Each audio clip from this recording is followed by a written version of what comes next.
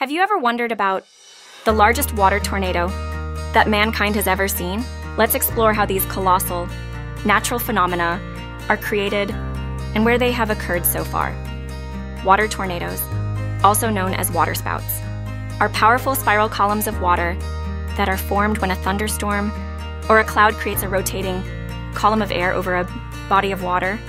The warm air from the surface of the water rises rapidly and meets the cooler air above. This temperature difference creates a powerful updraft, leading to the formation of a tornado.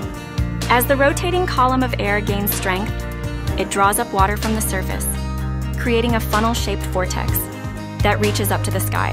These awe inspiring water tornadoes have occurred in various parts of the world. In the United States, they are commonly spotted over the Great Lakes, particularly Lake Michigan, the warm and moist air mass from the lake fuels the formation of these immense water twisters. Similarly, the Gulf of Mexico is another region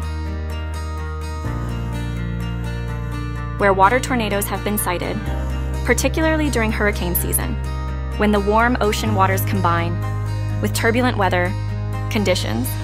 Other parts of the world have also witnessed the might of these water tornadoes. In Europe, the Mediterranean Sea and the Adriatic Sea have seen their fair share of water spouts.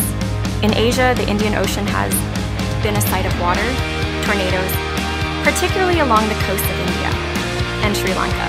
The biggest water tornadoes have been known to reach heights of hundreds of feet and leave a lasting impression on those lucky enough to witness them. The power and beauty of these natural wonders remind us of the incredible forces that nature can unleash. So next time you find yourself near a body of water during a storm, be on the lookout for these breathtaking water tornadoes. You never know when you might witness the grandest display of nature's power.